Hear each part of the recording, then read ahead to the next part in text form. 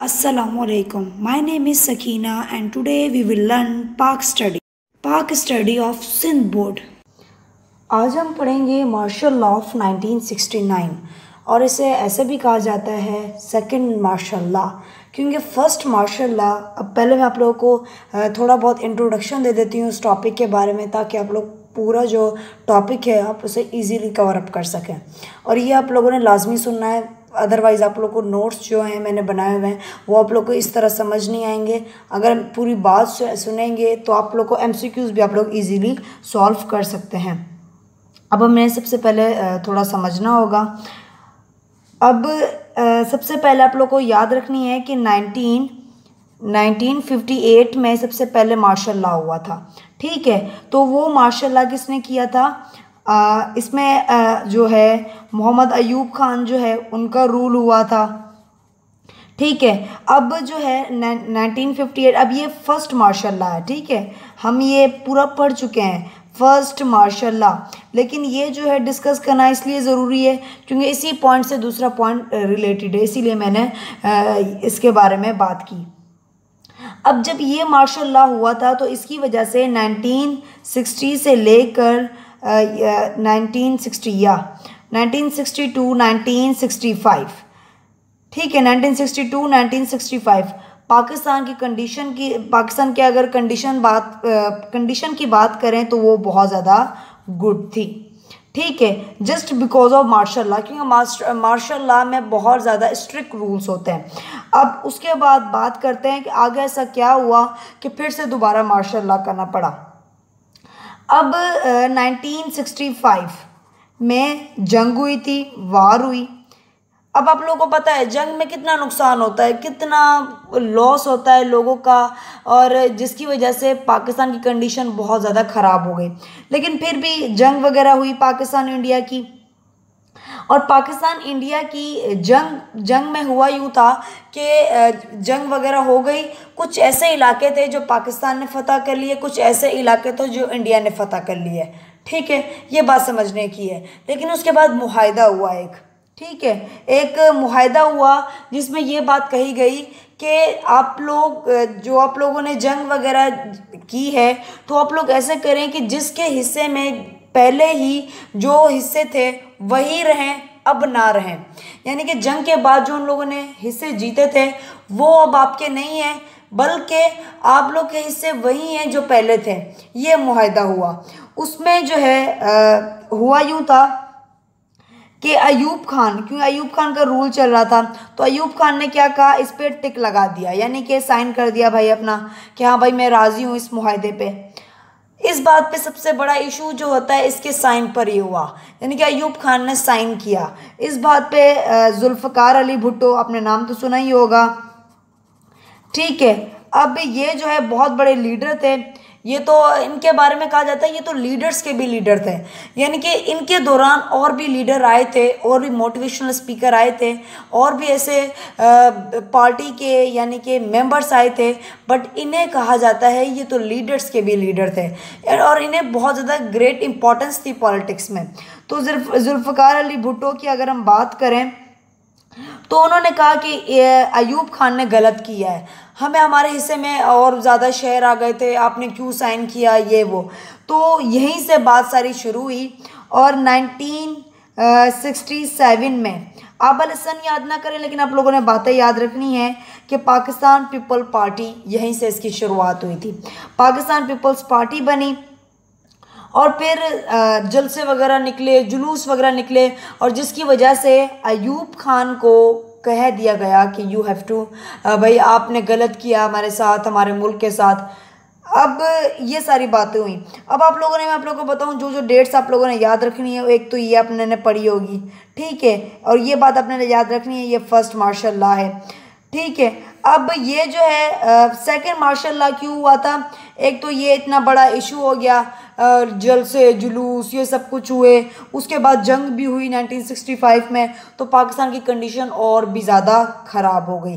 तो उसके नतीजे में हुआ यूँ था कि 26 मार्च, ये डेट आप लोगों ने याद रखनी है। ये मैंने नोट्स में भी मेंशन की है तो आप लोग याद कर लेंगे। तो 1969 में जो है, अयूब खान ने अपनी सारी पावर जो है, वो हैंड ओवर कर दी थी। हैंड ओवर पावर किसको कर दी थी? याया खान को। ठीक है? अब याया खान भी क्या है? जनरल याया खान जो है, वो कमांडर इन चीफ हो गए, यानी कि आर्मी में सबसे बड़े जैसे ही अयूब अयूब खान ने जिस तरह किया था in the same way Yahya Khan ने भी किया।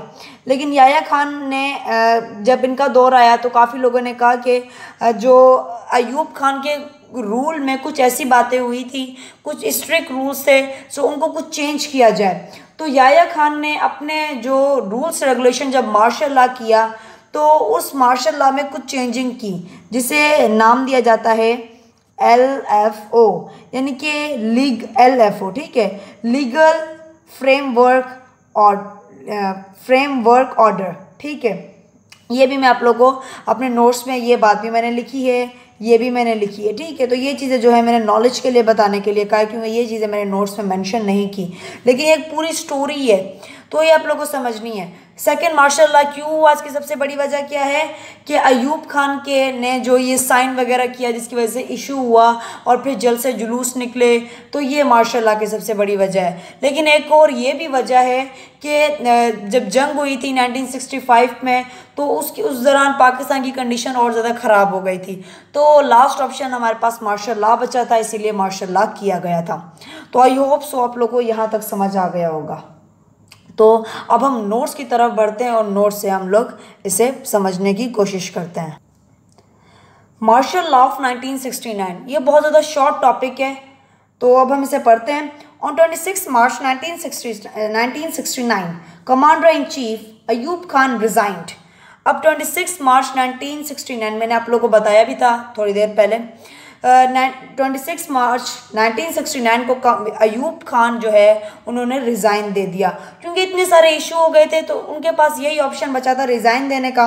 And hand over all is power to general Agha Mohammad Yahya Khan और सारी अपनी पावर जो है, वो याया खान को दे दी। और वो भी कमांडर इन चीफ बन गए।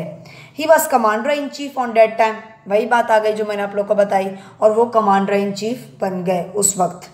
ही गेव कॉन्स्टिट्यूशनल फार्मूला और उन्हें एक उन्होंने एक कॉन्स्टिट्यूशनल फार्मूला दिया। मैंने अपनी पिछली काफ़ी काफ़ी वीडियोस में कॉन्स्टिट्यूशन वर्ड एक्सप्लेन किया है। कॉन्स्टिट्यूशन का मतलब होता है लॉ कानून और अपनी पिछली वीडियोस में मैंने इसकी डेफिनेशन वगैरह भी आप लोगों के साथ शेयर की थी। एक फॉर्मूला वगैरह किया कि जितने भी यानी कि माशाल्लाह हम लोग करेंगे, कुछ भी करेंगे सेटअप तो वो एल एफ़ ओ के मुताबिक होगा। ठीक है, अब L F O legal framework order मैंने आप लोगों को बताया था, लेकिन मैंने आपको कहा था, मैं नोट्स में बताऊँगी, वो यही बात है कि उनका जितना भी कॉन्स्टिट्यूशन प्लान होगा, वो लीगल फ्रेमवर्क ऑर्डर के मुताबिक होगा। The martial law accepted the following demands और मार्शल लॉ में ये सारे जो पॉइंट्स हैं, वो एक्सेप्ट हुए थे, अब हम उनको पढ़ते हैं। He ended one unit scheme, the province of West Pakistan introduced by Ayub Khan and divided into four provinces Punjab, Sindh and WFP and Balochistan.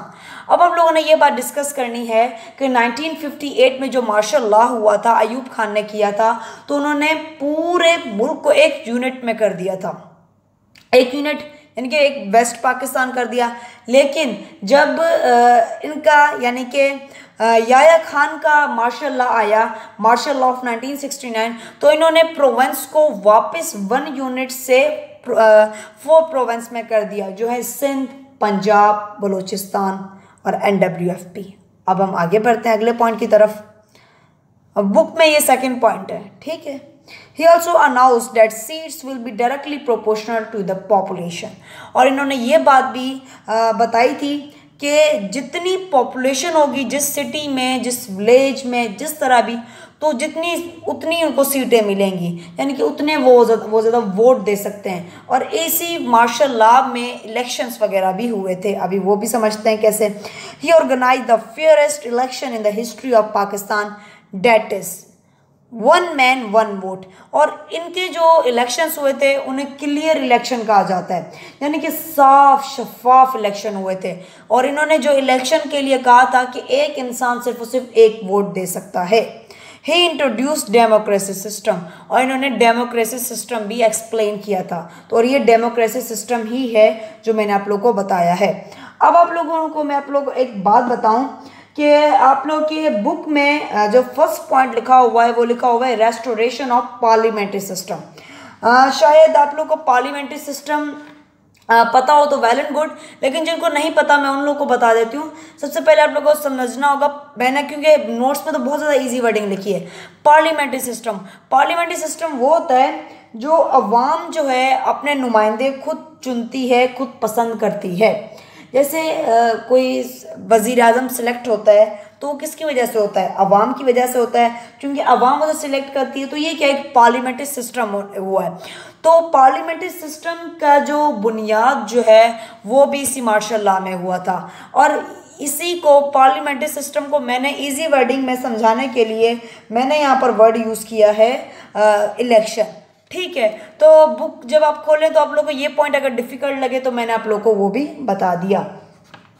अब आप लोगों ने ये भी याद रखनी है बात कि 1970 में दिसंबर 1970 में आ, इन जो है इलेक्शंस वगैरह हुए थे और इसके अंदर 63 छोटी बड़े जो उनकी पार्टीज़ थी उनके उन्होंने ग्रुप बना लिए और उनमें जो सबसे इंपॉर्टेंट पार्टीज़ आती हैं वो तीन आती हैं और वो है convention council and Qayyum league, ये तीन आती हैं। और इनके अलावा भी बहुत सारे ग्रुप थे, बहुत सारे पार्टीज़ थे जिन्होंने हिस्सा लिया था और जिनके अंदर आती है नेशनल अवामी पार्टी और इसके अलावा Pakistan peoples party, Awami league जमतुलमा Islam party और इसके अलावा अवामी लीग। और ये सारी पार्टीज़ हैं जिन्होंने इसमें हिस्सा लिया था, यानी कि इलेक्शंस वगैरह हुए थे इन सब चीज़ों में। बट मैंने नोट्स को ईजी वर्डिंग करने के लिए ताकि आप लोग बहुत जल्दी याद कर लें। इसीलिए मैंने इन पॉइंट्स को नहीं लिखा। वैसे भी ये शॉर्ट है।